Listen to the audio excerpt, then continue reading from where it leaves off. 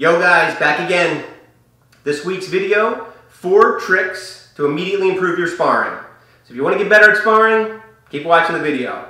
These aren't really tricks, they're more concepts. You can take any technique that you're good at and actually apply these concepts and see an immediate improvement on your sparring. So I'm working today with Jimmy Bustrin, which is one of my uh, son's best friends. And Jimmy's only been training for about six months and we're starting to work on, he's sparring more now, he wants to begin competing, so we're trying to ratchet up the level of intensity with his training. So now I'm trying to show him some of these tricks now that he can use to help get better while he's in the gym sparring. So check it out, let me know what you think.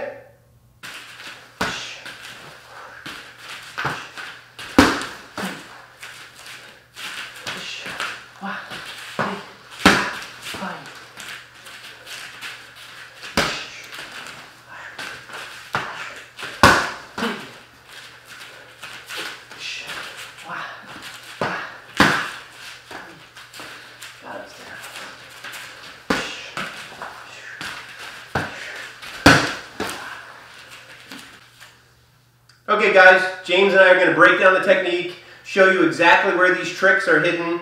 You're going to see an immediate improvement in your sparring if you start to institute some of these concepts. And again, they're really concepts, they're not tricks. And it's not the technique, it's the concept that's really important here. So we're going to break the drill down step by step so you can see exactly what we're doing and why we're doing it. So Jimmy's going to throw the jab, and I'm going to oblique kick. Now this kick is found in many different arts. In, in boxe française savate, it's a coup de poing the Filipino system, it's a Sipa. In Wing Chun or Jun Fan, it's a Dum Tek. In the modern MMA world, it's known as an oblique kick. The important thing is I'm hitting on the first beat. He initiates a movement and I intercept it. It doesn't have to be a jab oblique kick. If I get a guy who throws a lot of jabs when I'm sparring, I might intercept with my lead leg foot jab. Just as long as you're working on that high level timing, and I will really disrupt my partner's timing. If I intercept him on the first beat, I'm going to shut down the rest of his combo. So it's a very important tip. Learn a few techniques where you can stop your opponent on that initial beat. So the second thing we do here, first we jab, I oblique kick, then I throw a crescent kick. The crescent kick is an unusual and unorthodox technique. So the second tip or the second concept is find some unorthodox techniques. It might be a Superman punch. It might be a jump front kick. It might be a spinning back fist. Find something that they don't typically see while sparring and work those techniques in.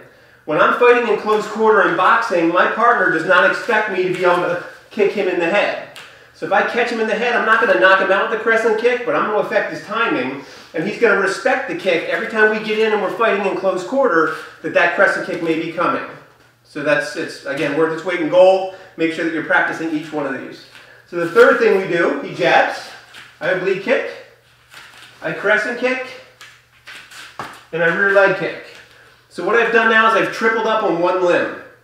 Anytime that you can double up or triple up on one arm or one leg, you're going to find you're going to score at least one of those shots.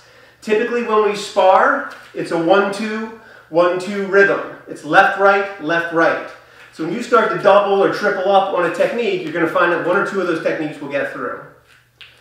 So now we're at this stage, he jabs, I oblique, I crescent kick, I rear leg kick, I'm going to slap. I like to use the slap a lot when I'm sparring. I'll slap my opponent, forcing his hands up, and then I'll take that opportunity to spin and throw the spinning back kick. It doesn't have to be a slap. It could be any fake. So when we're faking, we're using a tool. We're using an arm or a leg. If, I, if I'm feinting, I'm actually going to use a gesture. I'm going to change levels. I'm going to shift my shoulders. That's going to be a feint, which we're not covering today. We're actually working a fake. So my fake could be the jab, and then I go low. Or it could be the slap, and I spin. Whatever you want to work with. Whatever techniques come natural to you are the ones that you want to work into this sort of sparring curriculum. So take these four concepts, four tricks, if you will, Try to employ them daily when you're training, and then when you start to spar, I think you're going to find that you're much more successful. Thanks for your help, James. Appreciate it. Guys, till next week, train hard, train smart, train for a lifetime.